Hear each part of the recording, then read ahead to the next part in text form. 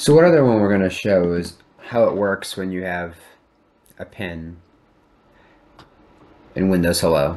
Because most work I'm doing is on the great Dell Inspiron ARM laptop, it doesn't have Face ID. So we can use with Windows Hello for business. So I'm just going to show you real quick what it looks like. Just so you can get a good idea. Because it is a little weird. I'm not sure how much value it buys you. I guess it buys you a little bit. So here we are. So you notice the sign-on options down here.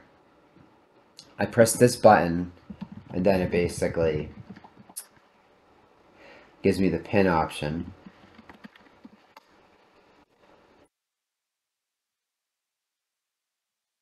Of course you want to put in the full email address.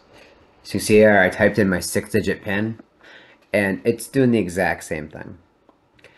So like I said, it's, I don't know how much value it really buys you, you know, when you've got a thin PC or something like that that you're using a Windows 365 boot. But I guess the good news is you put a six-digit PIN in instead of your password. So depending on your company, it might have some value. So we're just going to watch this for a quick sec so you can see how quick it is. Because you can see right now it's connecting to my cloud PC. Then from there it'll just be that simple. I'm in. There you go.